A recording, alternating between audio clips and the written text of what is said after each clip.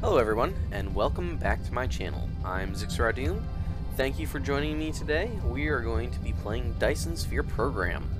Today, we are going to be making a few more things in our quest to the O-type star. We're currently right here in this system. We started in this system and we're heading to this one, the O-type star. This is the highest luminosity in my star cluster. So that's where we're going to build our Dyson sphere. So today we're going to be working on as soon as I can figure out how to open my my there it is. Forgot the hotkey. We are going to be making titanium alloy. So that's what I'm going to work on this episode. Um, and also we'll probably be doing a steel array, um, possibly in this episode too at some point in time, because we need one of those. And then if we've got any time left towards the end, we'll be finishing it up by planting a whole bunch of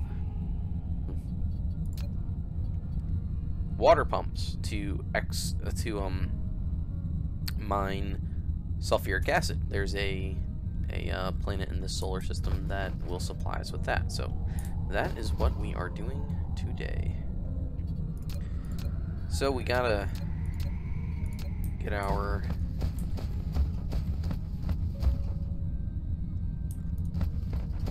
we need to get our production facility laid out. Uh,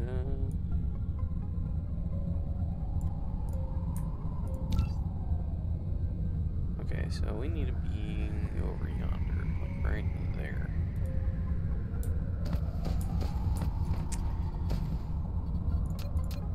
Let's go ahead this, that's six and two. Very nice. So we want to put this tower right around here. Let's put it here.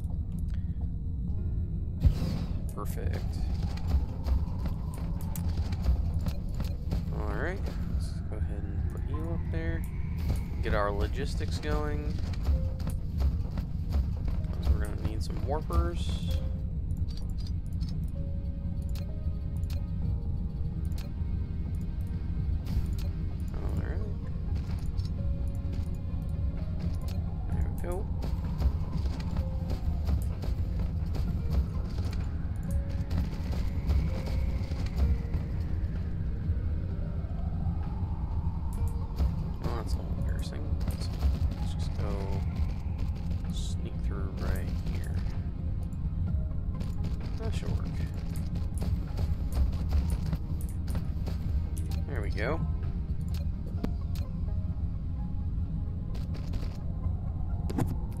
Get our warper supply line. And we need to get some power going on. Like so. There we go.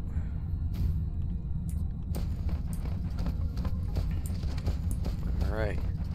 So we need 24 titanium alloy a minute. A second, sorry, 24 a second. And that'll require 72 furnaces.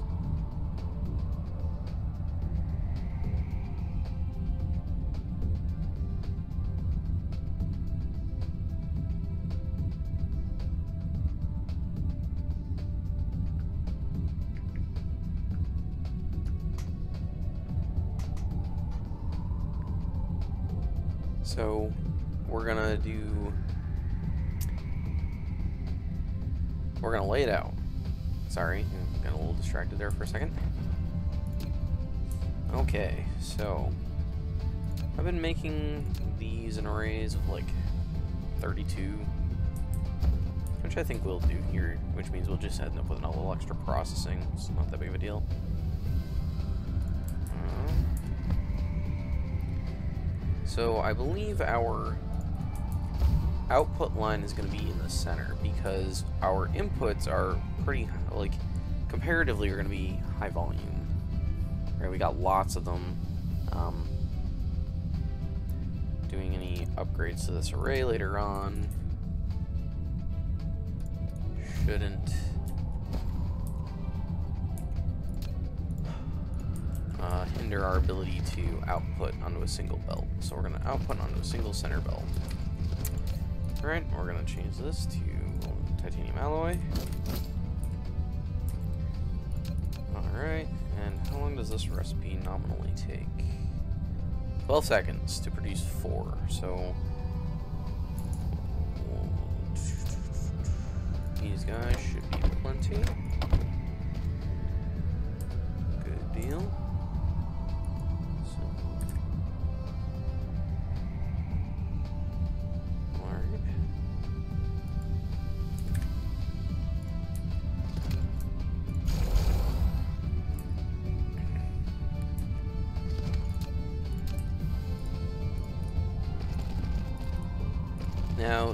Resources coming in are going to be 24 titanium, uh, titanium plate, titanium ingot, 24 steel, uh, and then 48 sulfuric acid. So we want sulfuric acid to be on the inner line here.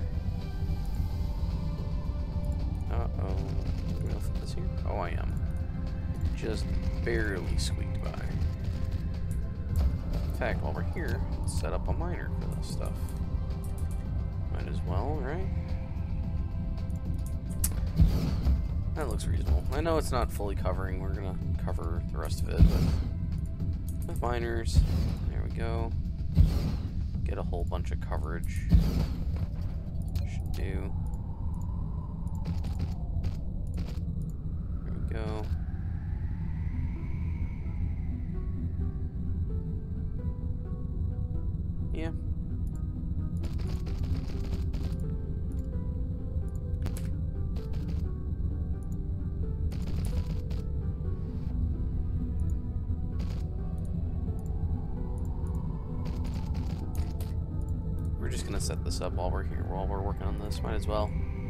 Here.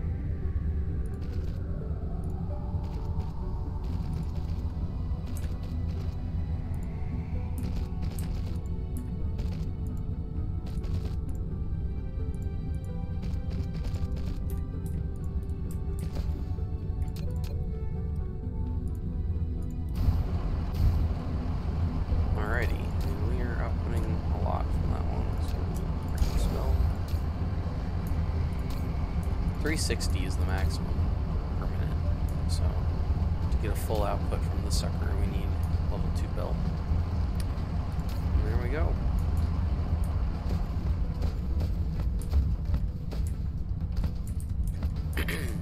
okay, so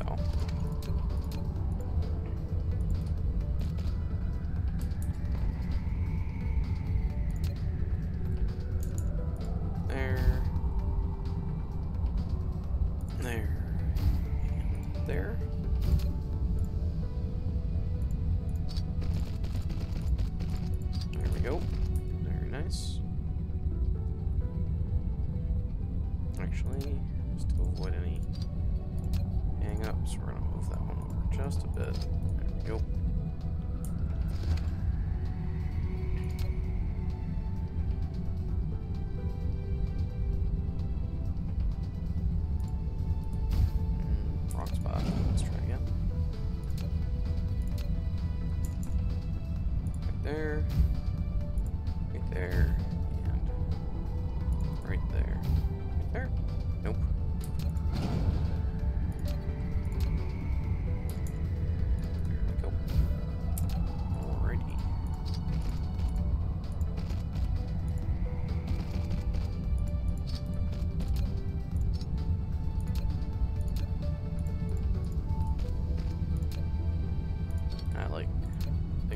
Being symmetrical, so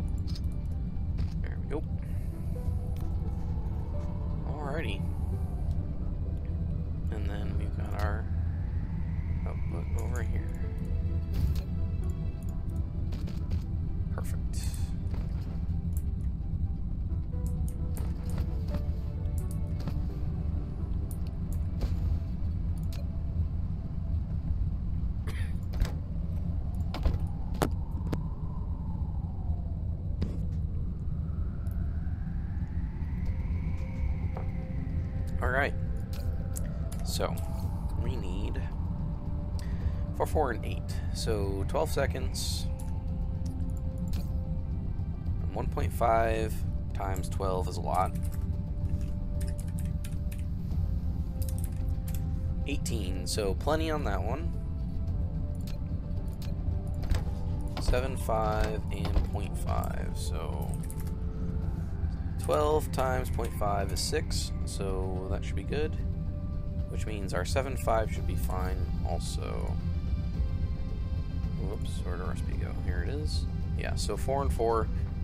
So if 0.5 times 12 is 6, then the 0.75 will be plenty, so perfect. Level 1's all around for now.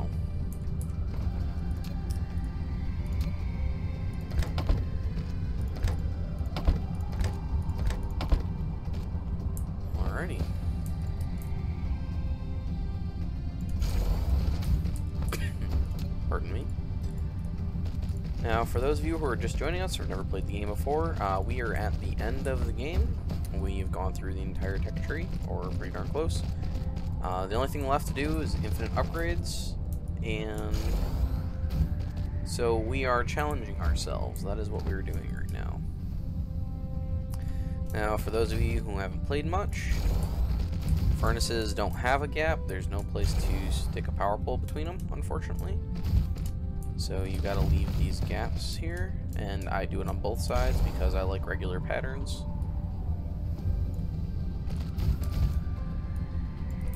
Alright, so if we put a power pole in here, it should cover. There we go. Perfect. So how many we got right now? We've got 16, so we need to double what we've got, and we should have all of our belts for this array.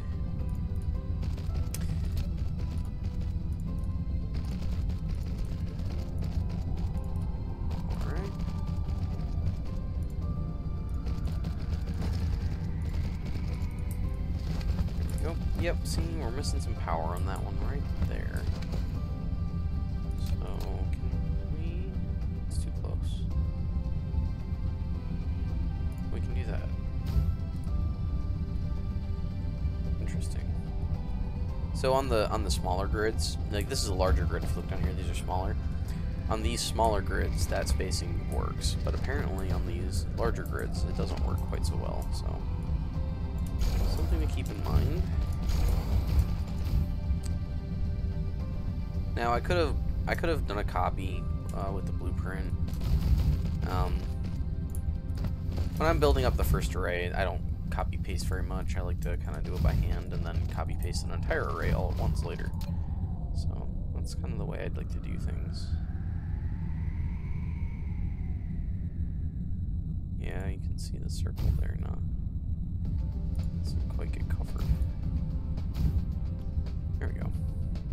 Those poles out of the whole array later. Alright, we'll just get rid of these extras here on the end. Alright. Pardon me. Alright, so, well, it's all set up. So, this is our output right here. We'll go ahead and use a blue belt. Um, we technically won't have that much, but might as well. Proliferator. Stick that on there. Oh, we didn't set it up yet. Oops, maybe. Haven't set up the tower yet.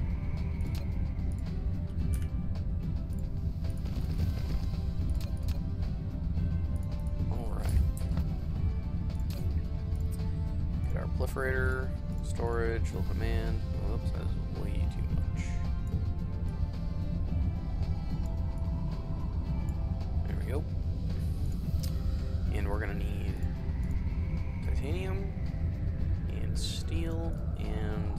acid, and we're going to output titanium alloy. Now you can see we've got all of the slots filled up, so I couldn't request the warpers. That's why I needed a belt to supply them. So there I think the only thing consuming this stuff on a high volume basis is the frame parts. Can we find out over here? Oh, deuterium fuel rods needs it too. What do you know? What about these guys? Oh, those guys need it too. Okay, never mind. I was not quite right. So having having some extra production, that'll be a good thing. Oh, why do I have all these extra warpers in my inventory? Ah, just do that real quick. Makes me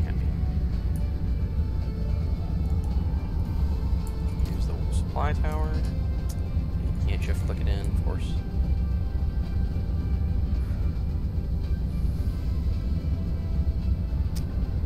Alright, so before we build the inputs, we're going to go ahead and copy the array because the inputs are actually going to go on the next array down. So we can put these right on top of each other. Uh, I have tested that, it does work, but I don't like the way it looks, honestly. So go ahead and leave a gap, because I prefer the gap.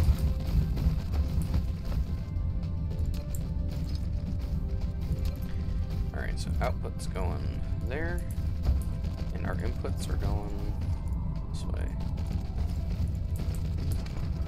Uh, this is going to be the input line, so go there and there, and then this is going to go down here, and down here, and down here, and we need a power pole. Interesting. I thought we got that covered, but I guess not. Yep, see, the spacing is wonky as you get farther down the grid we'll have to stick another power pole.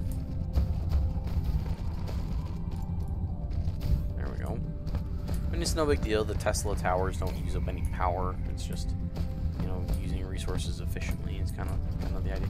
I mean, we could. Hmm, oh, we could do that. Uh, require three of these, I think. I think it require three could do that instead. Hmm, I'll keep that in mind for the future. Okay, so our inputs are going here, here, and here. So let's lay those out. They're going to be blue belts. There and there. There we go. So this one is our sulfuric acid, so we'll put that in there so we don't forget. Now, one of the one of the advantages of building these arrays the way I do is, let's say that we're using up way more sulfuric acid than a blue belt stack to four can actually supply us. Well, the advantage of having all these splitters in here in this, you know, um, in this main bus fashion, or mini bus fashion in this case, is we can use another set of splitters to input more resources in the places we're lacking, which would probably be farther to the south here.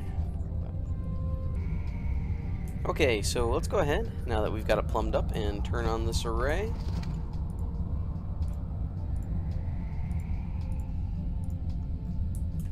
Because I'm pretty sure we won't be running at maximum capacity. I'm going to turn these down a bit. I am starting to think that it's a bit excessive having it up quite so high.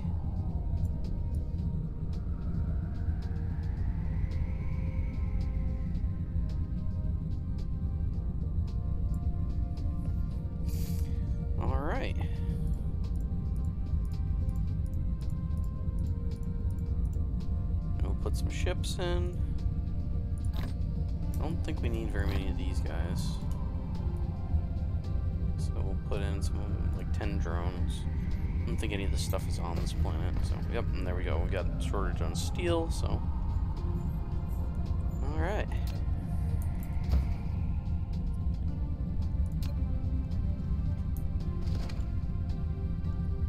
So while we're waiting for that stuff to come in, we'll go ahead and we gotta duplicate the array one more time to get up to the 72 that we need. Uh, now this isn't gonna line up perfectly, unfortunately, because we're, we're crossing a, uh, a line of uh, latitude. Oh, but the array did copy paste, which is good. Sometimes it doesn't work due to the, uh, the grid line scrunchage, scrunching.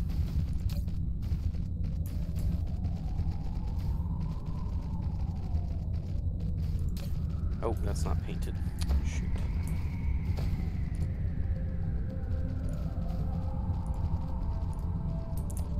Let's go ahead and get a uh, spray coater on there. Put some proliferator on it. Get rid of you.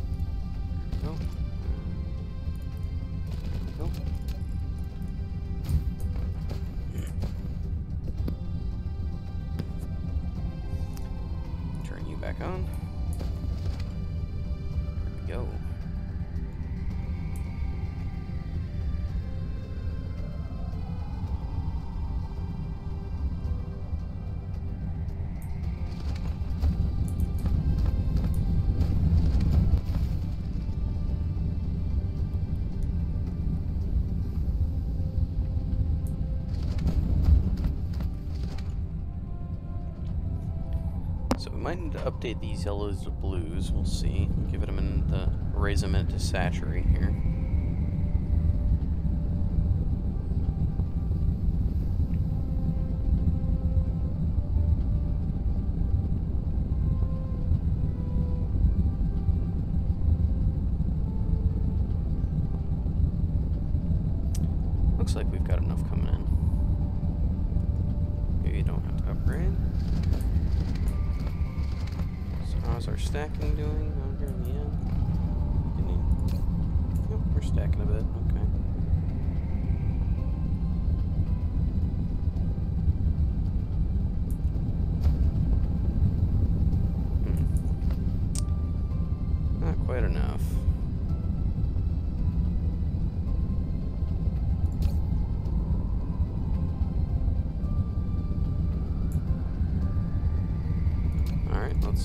rid these guys. There we go. That's better.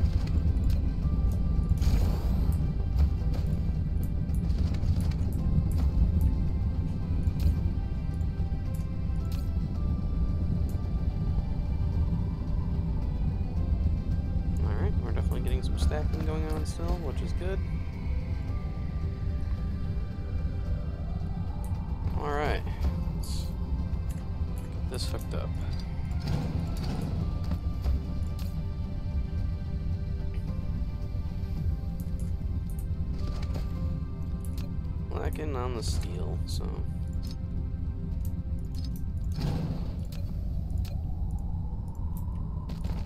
I think that's what we're going to have to start building next.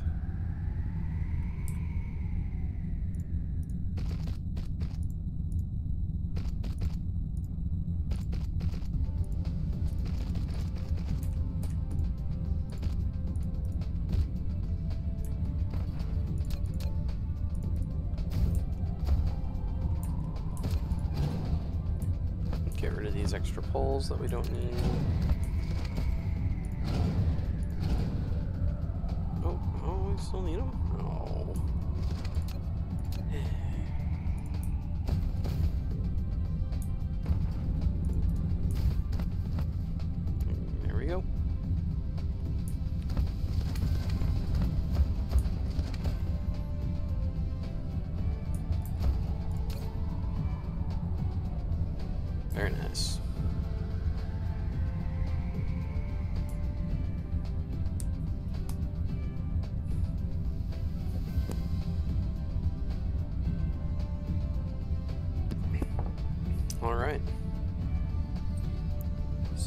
up is the steel array.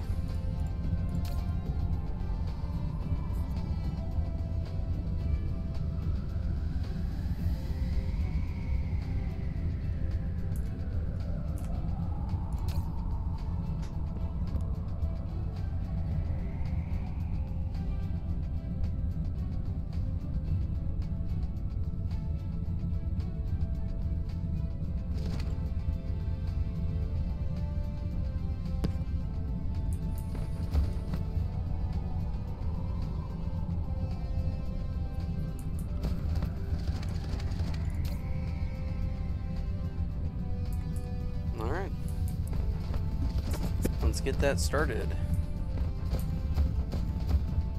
Should be some space right here. And it looks like there is. Very nice.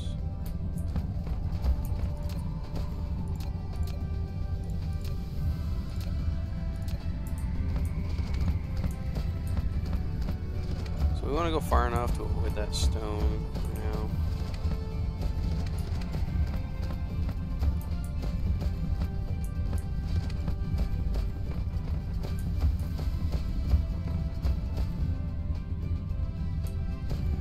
Right here should be good. That's probably too far actually. Let's go like here.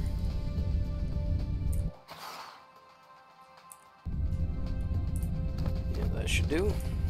Alright, let's look at the steel recipe. Steel recipe is 3 in, 1 out. So we can do uh, input line on the outside, output line on the inside, and we can do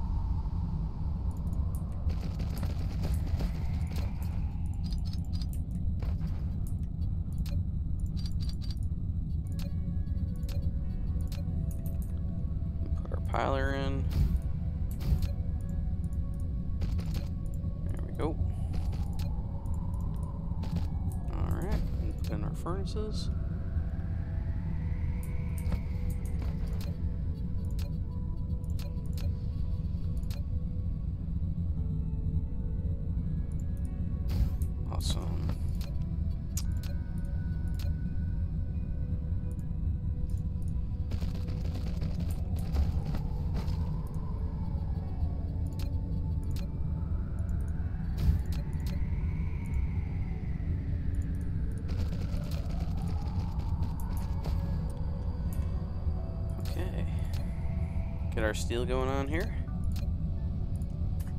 Sweet. Alright, our output is in the middle. And our input is on the outside.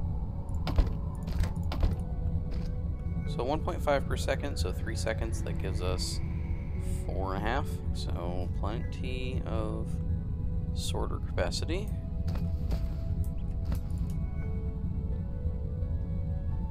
This time I think... Hmm. Let's do three this time instead. So that's... Three and three. Will that work for the power pole?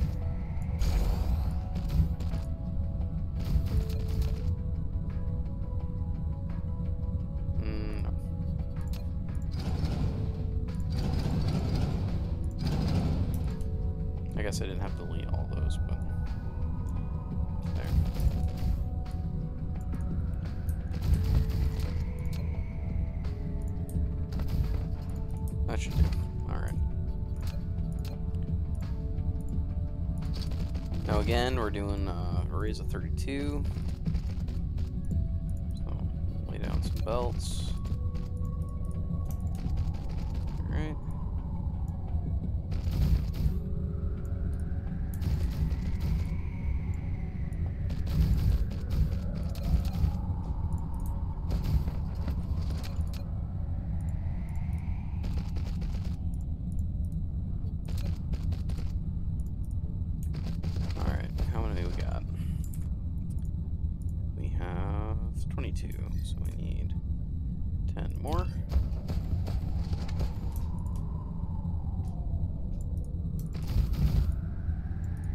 So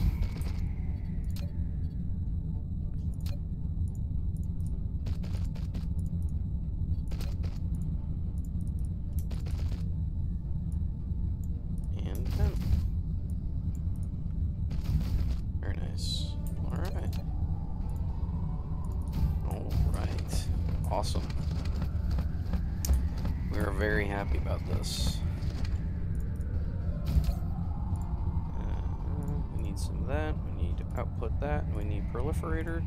We need warpers. Let's turn these down before we request them this time. Let's probably be intelligent. There we go. Man, hitting these really low numbers is difficult in these towers. With these upgrades up so far. Put you in there. You in there. The the the iron's gonna be coming from off planet, so we definitely need warpers in this tower. Uh, the iron ingots coming in should be proliferated already, so it should just be a matter of proliferating the steel on the way out.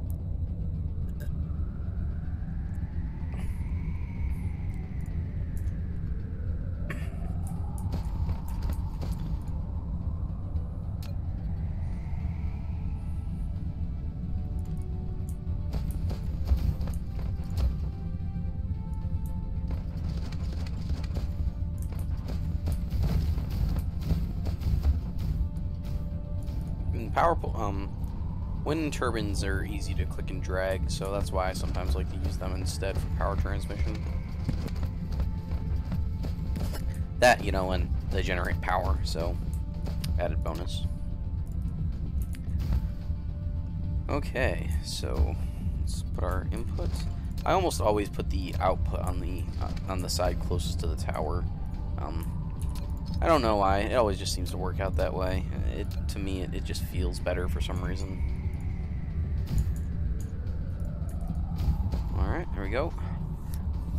So our input's gonna be down there. So you're going this way. You're going this way.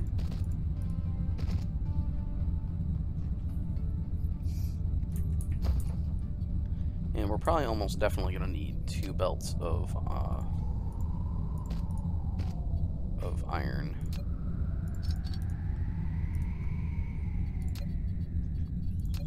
Because I don't think one's going to be enough to feed all 72. All 96? 96.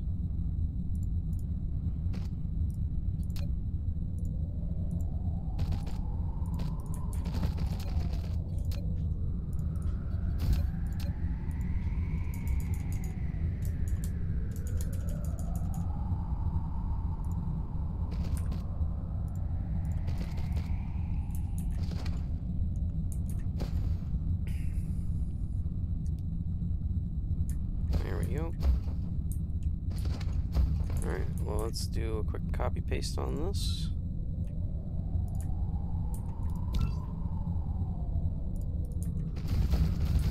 I'm not going to leave a space this time, mostly because I want to be able to, I don't want to have to cross the latitude line.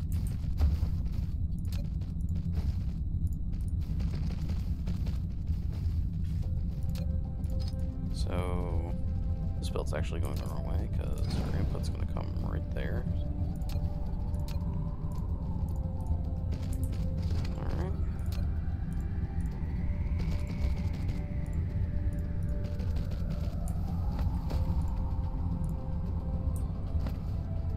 Go. So let's go ahead and get this started.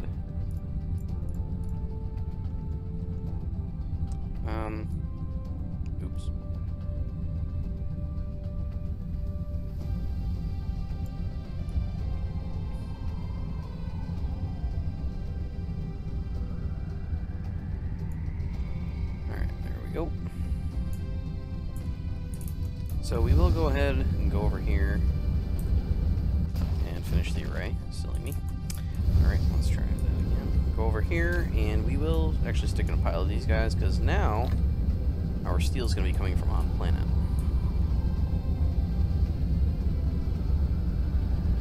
Alright, we'll control V again, and we will plop down this array one more time. Go over here. Get rid of you. We will get rid of that. Go that way and that way.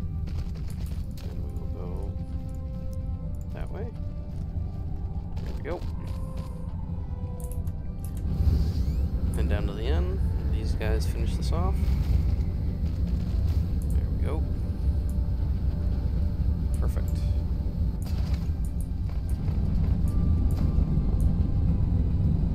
Are we stacking it all?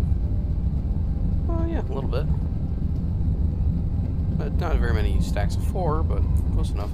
As, you know, when things back up, they'll stack to four, and then they'll unstack and stack to four and unstack, so that's how, how it'll go. But, alright, uh, so there we go. We're making our steel. And I think that's all we're going to have time for in this episode. So thanks for guys for watching. I appreciate all of you that come and spend time with me. I hope you all have a wonderful day. Take care.